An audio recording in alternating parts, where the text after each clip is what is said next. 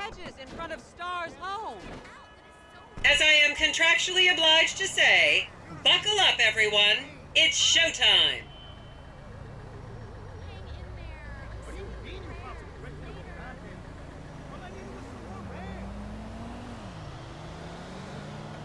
Vinewood is often referred to as the anal bleaching capital of the world. On your right, you'll see the world famous Gentry Manor Hotel, a legendary party hangout for actors and rock stars and people trying to have sex with actors and rock stars. Built in 1921, it's been the scene of some classic Vinewood scandals over the years. One of my personal favorites was Al DiNapoli's overdose in 2002 after a chimpanzee blasted an eight ball up his rear door with a water pistol. Fantastic! They say that on given day there are at least two dead party girls in the trash cans round back. Isn't that great? Okay, smartphones at the ready, celeb spotters. We are now approaching the legendary nightclub, the Dungeon Crawler. Opened in 1996, the club is famously owned by actor Bruce Spade, who has a custom built elevated VIP table so that he looks the same height as everyone else. It remains one of Vinewood's hottest night spots for the rich and famous to do drugs and date rape impressionable fans. Play your cards right, and that could be you! The Dungeon Crawler was in the news again recently when comedian Morgan Chester allegedly ran over a doorman in his SUV for not laughing at one of his jokes. Oh, and now a treat for you closet glam rockers on board. We're coming up to the infamous Tequi-la-la Rock Bar. Back in the day, this was a restaurant run by the mob until it got shut down over the Adam's apple in the soup controversy of 1982. It reopened as the Tequi-la-la Bar in 1983 and soon became a mecca for hair metal bands and fans from across the country. It's rumored that the Love Fist song Dangerous Bastards was written about a night they partied here on Mescaline with some transgender twins. Now, this house up ahead is one of the many private residence of action movie director Mark Fostenberg. Fostenberg still maintains he was out of town when a 15 year old Mexican girl was found dead in his pizza oven in 2007. The case was settled out of court and all charges were dropped. The girl's family now live on the next street. So, this is the house of television exercise guru The Craze. You might have seen him degrading himself recently on Rehab Island. Do any of you remember the 80s? Huh, strange times. People didn't go to the gym back then. They did jumping jacks in front of the TV and leg warmers and headbands. The Craze swapped his gold lame leotard for a crack pipe in the 90s, but is reportedly now clean and in the best shape of his life. That's Vinewood's code for he's trying to make a comeback.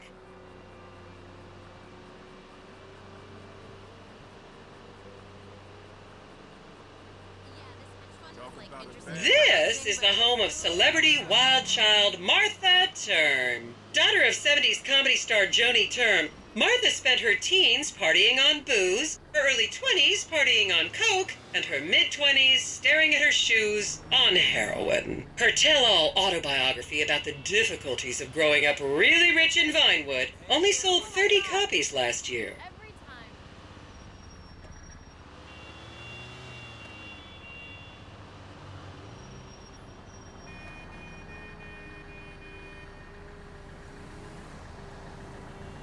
Holy shit.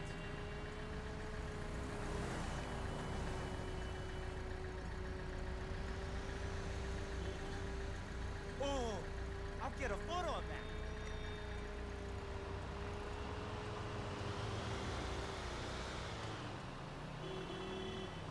I should remind you this is a no smoking bus. Unless, of course, it's medical marijuana, then you're all right. You are looking toad. Just up ahead is another place to see and be seen in Rockford Hills the Richman Hotel. An iconic entertainment industry hangout, sleazy producer types have been promising to make young girl stars here for over a hundred years now. Not gonna lie, I did some shameful things in that lobby bar in my youth, but I've put that period of my life behind me now.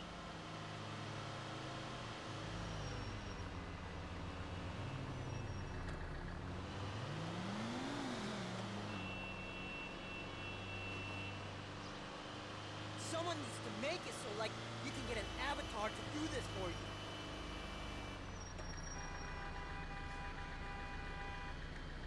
think the tour will stop at Honkers?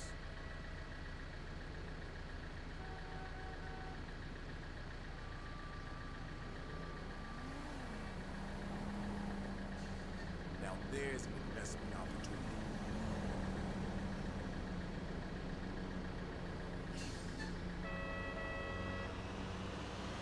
I was a member of the jury in the 1991 movie Last Will and Testament. They, they cut my line.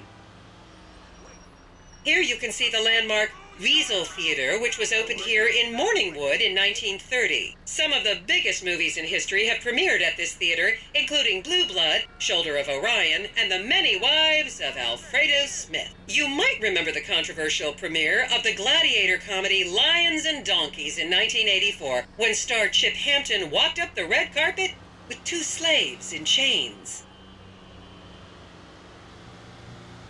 Thanks for looking over me tonight.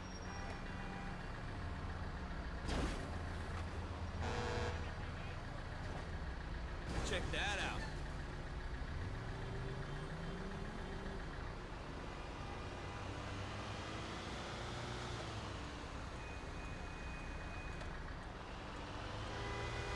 Cool. Hey, hey.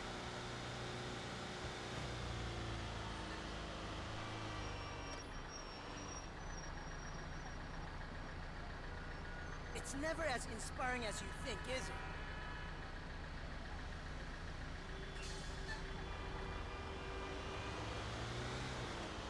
Is everyone having fun?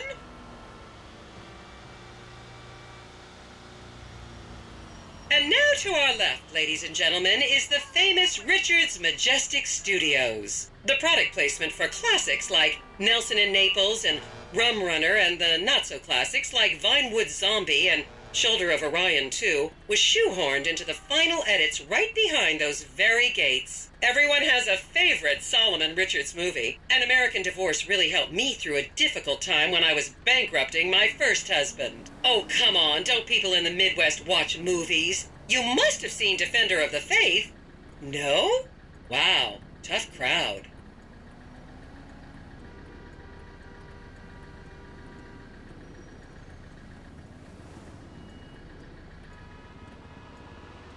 There's so many people in this place.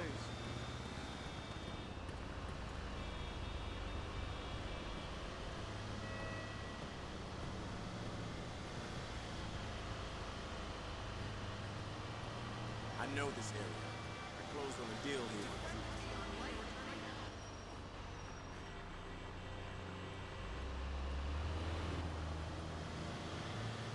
You know this town used to be only a Hey, hey, you asshole!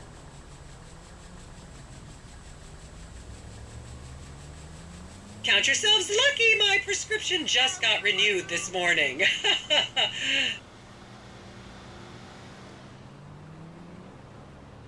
can't believe I lived for so long without Hey! half The best I know, bitch! You're a disaster!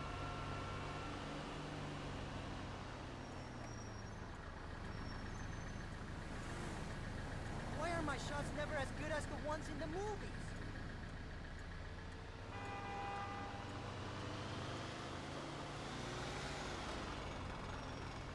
I hope this tour isn't too long.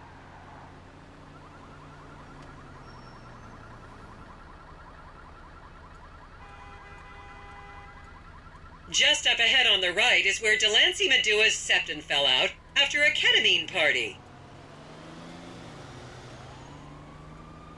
I wonder what the real estate market is. Ah, shit! Hello. Uh, what's up? You fucking spanner.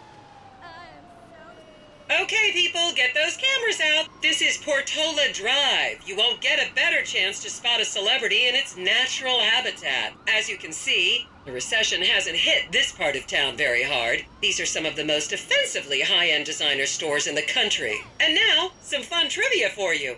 There have been a number of movies shot on Portola Drive, mostly awful ones about rich idiots, including the blockbuster 2005 romantic comedy Shoe whore. It's credited with sending women's rights back 50 years. The store we're passing now is where British star Charlotte Crown was caught on film in the changing room, eating and purging the same burrito over and over again, just like a dog.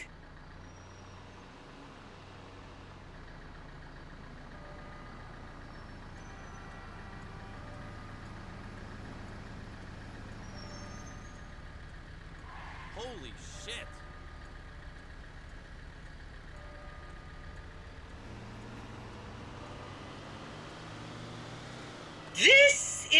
Epsilon Center. Anyone with red hair, please cover it for your own safety. If you really want to meet a famous celebrity, this place is packed full of them. Take an introductory course. It it changed my life.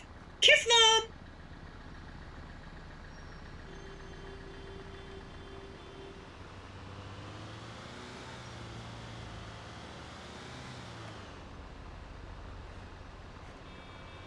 This isn't as lame as I expected. Hey, see you at the bar.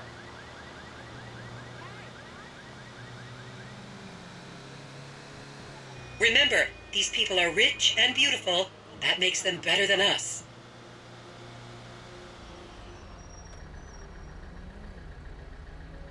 Imagine if this was all like an app.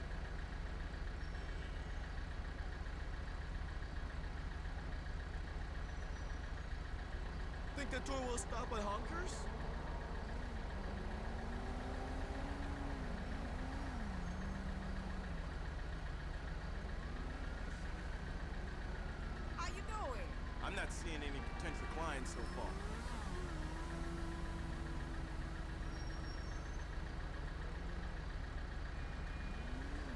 Keep those cameras out and fingers on the trigger. Celebs are skinny and fast.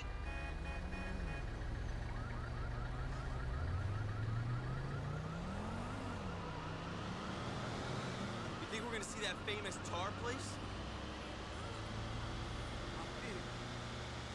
You stole me a drink. You are right about that. Pretty cool, huh? Oh, fuck.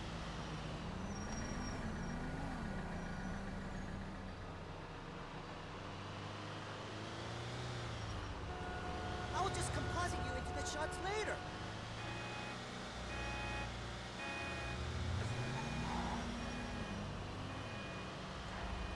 To the left, you'll see a spot where a pizza boy claims that Clay PG Jackson asked him to remove his shorts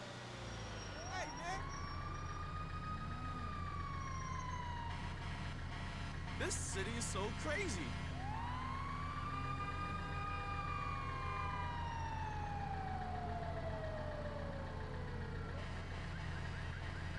Talk about a bad investment.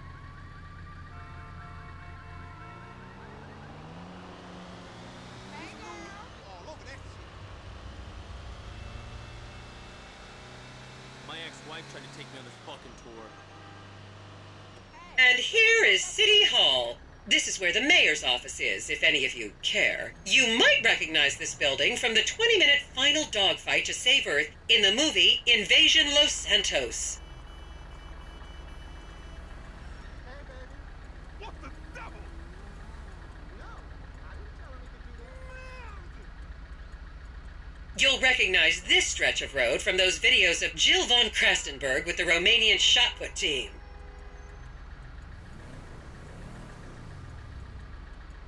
Cool.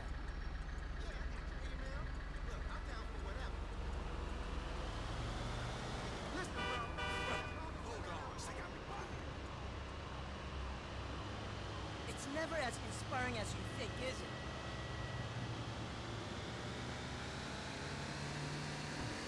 Huh? Wow, just like on the postcard.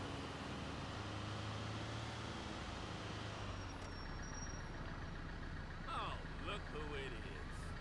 Don't you just love people you've never met and would have you arrested if you came within 10 feet of them? Every time you get your fucking period, we fight. Jeez. You wouldn't believe what that one sold for.